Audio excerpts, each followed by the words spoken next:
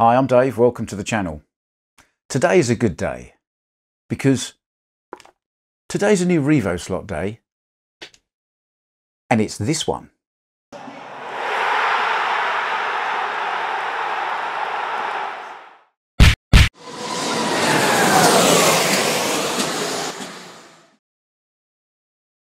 This is the Revoslot Marcos LM600 number 5 STP livery.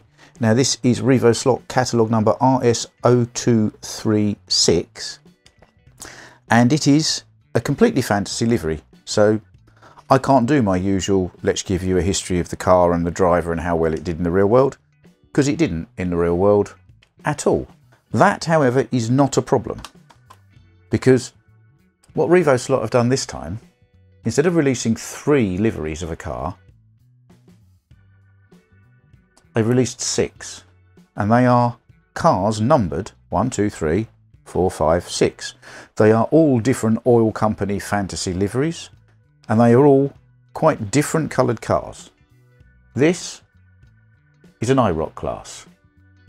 They've taken one of their older models and made a brand new IROC class with it and I think it's brilliant. There's also a white kit, of course. All the usual things. Parts, pop-up parts on the back. Please pay attention to these. They will help you if you want to make your car go faster. So that's that. Also in the box, of course, the obligatory two Revoslot stickers. The magnet that, quite frankly, if you need a magnet on a Revoslot like this, you probably need to clean the dust off your track. I can't see any other reason why a car would slip about enough to warrant a magnet. And the Deepwood guide, which is really too deep for a Carrera track. And there's a little box of parts, little bag of parts, sorry. In here we've got a couple of nicely detailed wing mirrors. And I don't know if you can see, but on the back they have got STP logos as well. So you can optionally fit those. And there is a rear wing. Now I've never had a Revoslot with a complete replacement rear wing before. I'm not quite sure about this because I don't think that's the bit that's going to break. That's a really thick, durable piece of plastic. However, curiously,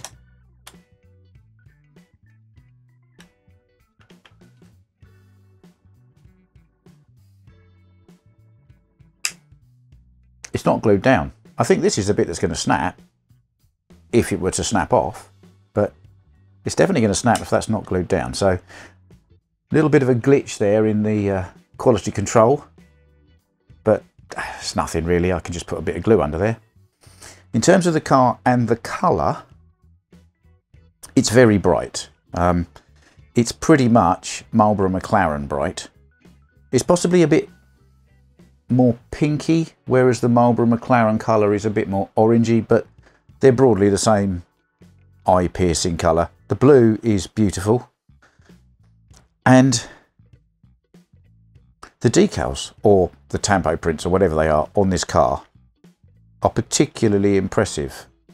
This car, I think, is another step up in terms of liveries and things for Revoslot from what they've done previously, which has always been good. I will get to that a little bit later on.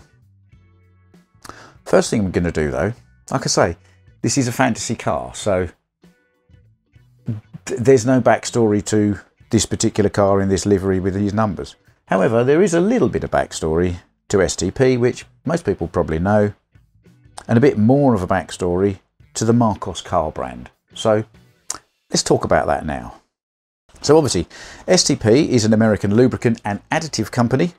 Um, it's a brand that was first introduced in 1954. Now, it stands for Scientifically Treated Petroleum and has been involved in motorsport sponsorship really since about 1970, um, most notably striking a partnership with, of course, the King, Richard Petty, in 1972, a relationship that lasted for about 40 years, I think. Uh, turning to Marcos. Now, Marcos or at least Marcos Engineering. The company's had a number of names because financial troubles are like that. But Marcos Engineering, as it started, was a British sports car manufacturer founded in Dolgellau in Wales. Uh, in 1959 by a guy called Jem Marsh and another guy called Frank Costin. The Marcos name is, of course, the first three letters of Marsh and the first three letters of Costin. Uh, the company had an interesting history, to say the least, as it went out of business in 1971 with what amounted to a fire sale of bits, tools, prototypes, and so on. The following year in 1972, another company acquired the stocks and assets but never actually produced any cars. In 1976, the original founder, Jem Marsh, bought back the name and relaunched the brand, and in 1981 was producing kit cars and produced those until 1992 when they switched exclusively to factory built cars again. It was at this point that they launched a new model, which was the Marcos Mantara, which then evolved into the Marcos GTS, which then further evolved into the Mantara LM 400, 500 and 600 series. Of course, this is, as I said, the LM 600 series, with 4, 5 and 6 litre V8 engines respectively. The LM600 was purpose built to meet the regulations that made it eligible for the FIA GT2 class and competed in the FIA GT and British GT championships as well as the BPR Global GT series, running three seasons 95, 1996 and 1997. Marcos then started producing another evolution of the car, the Mantis, and ran a one make Mantis Challenge series. But the series really only ran for two seasons, and after that, into the 2000s, the brand sort of dwindled away, finally going into full voluntary liquidation in 2007. However, that was not the end for the LM600. Former Team Marcos driver, the Dutch racing driver Cor Euser, competed in the Dutch GT Championship with a car through the 2000s. He won the championship in 2002, 2004 and again in 2009 in a Marcos and he also retains a license to manufacture cars and has done so, making both the GT3 car and a modified Mantis which he has named the Marcorelli. Now back to the car in question. I said earlier, although this livery is a fantasy livery, I think it does mark a bit of a step change in Revoslot's production and quality. I mean, yes, I have a number of other Revoslots, as you know. Now, I've observed, as I've got three of these of different ages, quality of the top has played pretty much the same, but the quality of the mechanics inside, the refinement of that process over the three versions of this I've got, you can tell this is the newest one, even if you didn't know. It runs smoother and quieter than its previous one, and so on. So there's an evolution in the engineering side of what Revoslot are doing.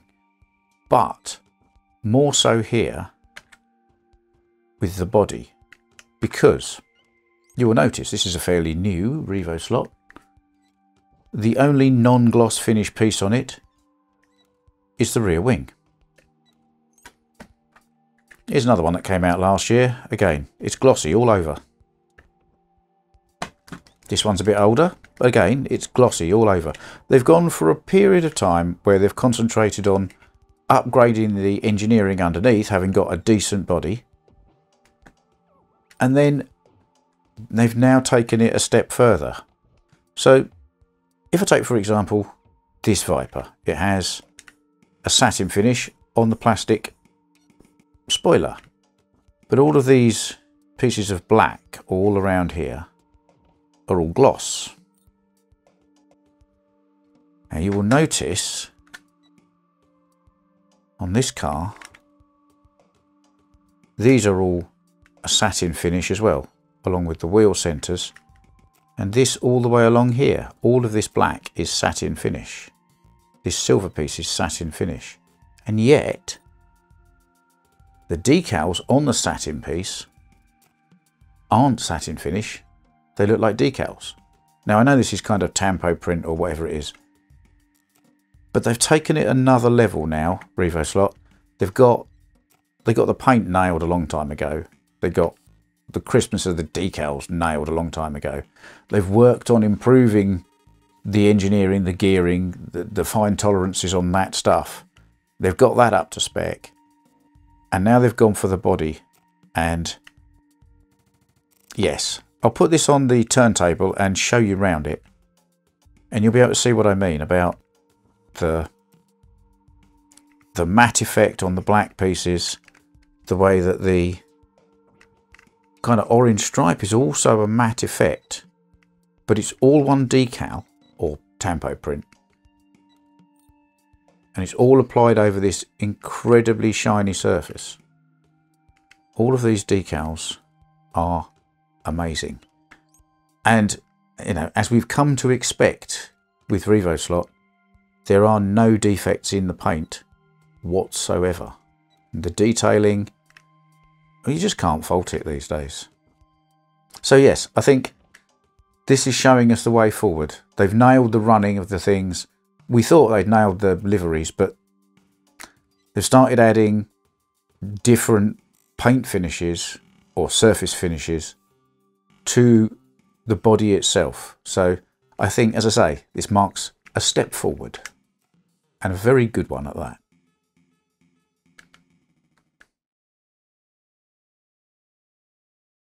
And so now to the bench, and obviously the first thing I'm going to do is deal with this rear wing.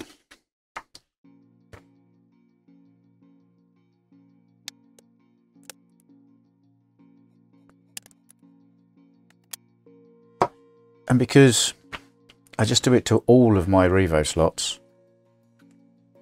because it stops the rattle but allows the motion just a couple of little bits of electrical tape just to dampen down the join between the two parts of the chassis. And then while I'm here, I will just check the gear float. It's not bad. Be a little bit tighter, but not too bad at all. I'm not going to go th through a full tuning analysis of one of these Marcoses because uh, Georgia Area 51 Raceway and Harry Wise did a great live session about tuning these cars up really well and I thoroughly recommend you watch that. It's going to be a lot better than me warbling on about it because they really know what they're doing. What I am going to do here though is even though there's no rattle on that interior. I'm going to put a little bit of aluminium tape, or aluminum tape if you like, just front and back here, just to put a little bit of tension into the plastic so that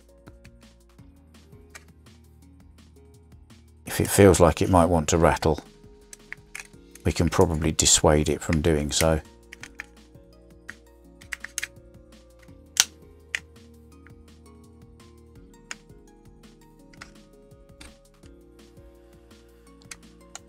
That one's not very well connected either, is it? That'd be why they provide you with a spare wing then, because they don't trust themselves to glue these ones on properly, perhaps. So, yeah, I think that'll do for that. Uh, turning to this, I may put a digital chip in it in time. This is a really old style Carrera digital chip but it should even this one should still just about fit around that motor look and then it would locate through the hole there's no hole drilled here because there's just a gap and that is where the LED would poke through so that's a fairly straightforward fit. I have done plenty of other videos on how to do this. Please look in my Revoslot videos playlist and you'll find plenty. But essentially, ignore those two wires, connect that red and black to that red and black,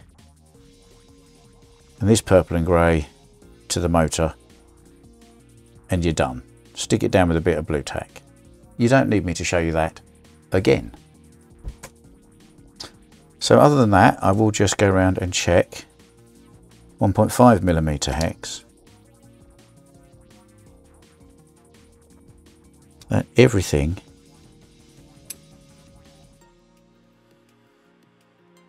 is nice and tight.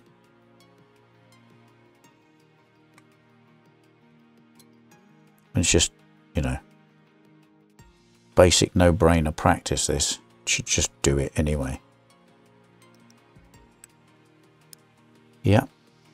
Now the gear mesh, as I say, it's not bad. It could be a little bit tighter, so.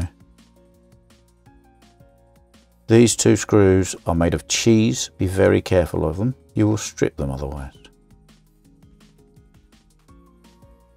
Now the thing here is that not only can you adjust the position in and out, there is a bit of movement to adjust the rotation of the motor as well. So try and get that nicely seated. So there is just a tiny bit of play in there. Not a great deal, but I can just, you should be able to feel it, not see it, as they say. And then I'm just going to pop a little bit of oil in these bearings. A little bit on the end of the motor. And pop it on the track and see how we go. I'm not going to overly fuss with it at the moment. One thing I would say that's very different about this from my other Revoslots is they've all got pretty much four identical wheels on them.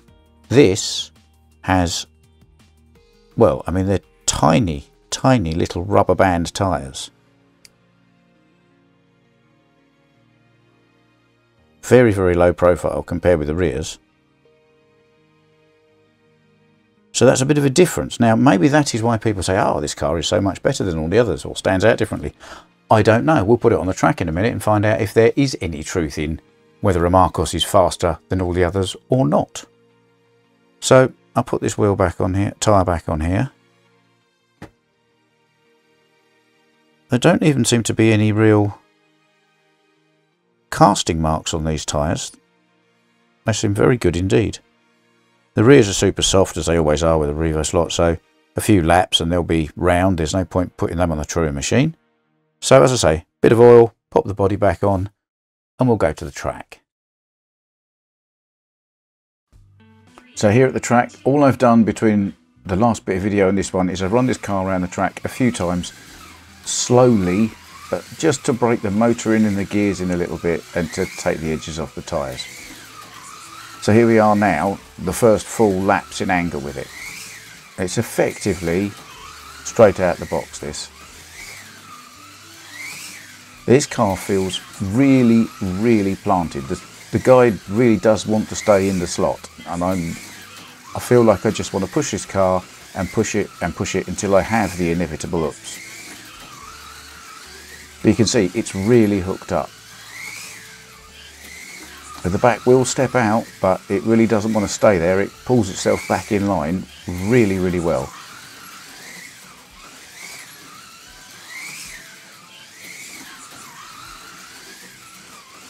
I don't think I've ever had a car go this well straight out of the box. This is amazing.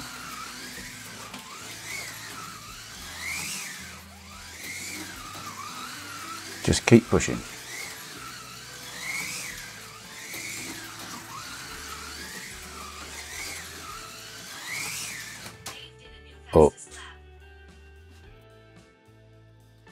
There we are. Look at that. That's amazing. Straight out of the box. 5.649 seconds. That's just 0.3 or so of a second off the lap record. 16th fastest lap ever. Some of those are not me, some of those are other drivers. So if we look at the leaderboard, I put in a few extra laps and got a bit quicker again. Top of the leaderboard, there's two Porsche 911 GT3s, which I have tuned and tuned. Down from that is the Mercedes CLK, which is a beautifully handling car. I've given it some tuning, and the Viper I've tuned a little. That Alfa is just a freak car for those small 2 litres and next to it eventually a 5.474 lap straight out the box. That car is phenomenal. It's ahead of plenty of other Revoslots as well. I love it. So I need to sum up about this car. I think you should get one if you haven't got one. It, it feels incredibly planted on the track it, it, much better than any of the other Revoslots. I think when these guys say, oh, this one's the fast one, I can understand why they say why, especially on a twisty track.